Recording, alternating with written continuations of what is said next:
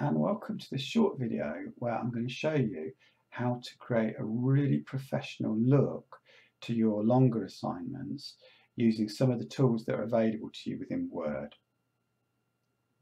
So when you first look at this dummy assignment here, which is literally just created using some gibberish text I got off the internet, you'll notice that there's lots of things that mean it just doesn't look very nice. It, it looks a bit uneven and you can't see where the headings and subheadings are. So the first thing I'm going to do is come over to the start of the document and I'm going to use Control A or if you're on a Mac, Command A to highlight everything. And then I'm going to come up to the paragraph here. And then using the paragraph, I'm going to create a nice big space between it. So I'm doing 12 point. And then over here where it's single line spacing, Going to change that to multiples. Now you can, it's defaults to three, which is a bit big. You can do double spacing. You can do one and a half. I prefer about one and a quarter. It just means that the documents are not too long and that just looks a bit nicer for me. But one and a half is nice as well.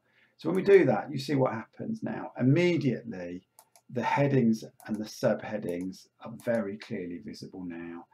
The, the text is a little bit easier to read on the eyes because the line through it better spaced. Okay, but you'll notice it still has got that, this end line finishes very ragged. This is very straight on the left hand side, very ragged on the right. A lot of people don't really like that. So we're going to do, again, we're going to do Control A to, to highlight it all.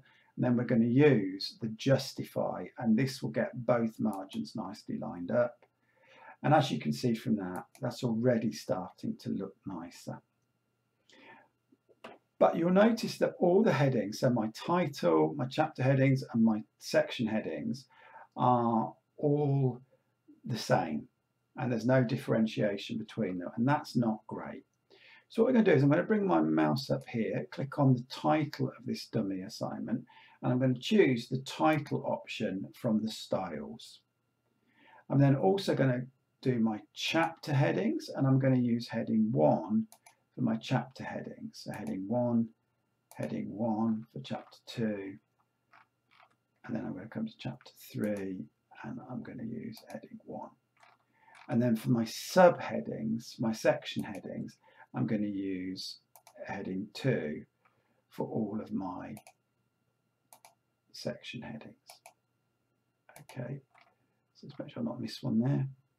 Okay, so I'm going to use section 2, uh, start heading 2 for all my subheadings are going to be using heading 2. Okay, and this will just keep all of them the same. It makes it very clear. Now you can then use sub subheadings. So you know it's up here. We've got three. We've got four.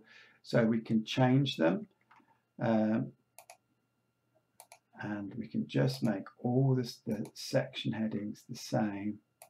And now we've got nice section headings all the same. And there we go, nicely laid out there. It's very clear, very straightforward. Now, there's one last thing I'll do. You'll notice here that the chapter splits in the middle of the page. Now I can do that by just going enter, enter, enter, enter, but there's a much quicker way, which is again, if instead of doing that enter, enter, enter, I just use the command, the control key, or again, Mac command key, and then enter, and it will automatically start this at the top of the new line. And even if I then start putting more stuff here, this will continue to be at the top of the page every time. So again, we go to here, and again, we're going to use the same again. We're going to use Control or Command Enter. And now all my chapters are nicely laid out. Now I'm going to show you here a real time saver. Now it's both a time saver and something that makes your work look really professional.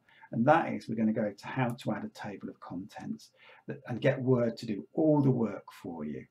So I'm going to come here. This is where I want my table of contents.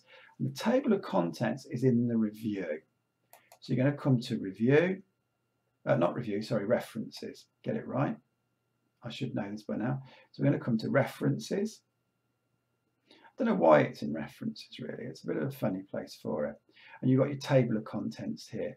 So if I click on table of contents, it's going to give me various options I can choose from, different ways of setting it up.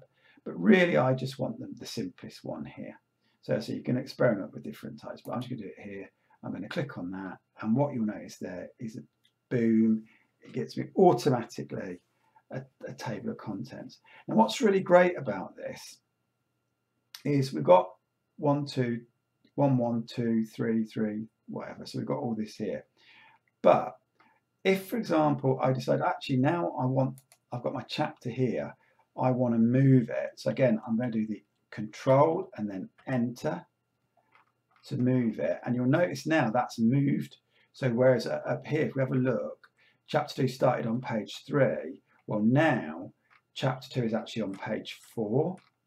But what you'll notice here is you just come to this table here, you've got update table, update the entire table, and it will automatically shift all those page numbers for you. So hopefully you can see why that really creates a very strong first impression. It's This table of contents, it, it, it looks good. It creates a very positive impression in the reader. It helps the reader because it lets them know exactly what they're about to read. And also, by doing it this way, it is going to save you so much time.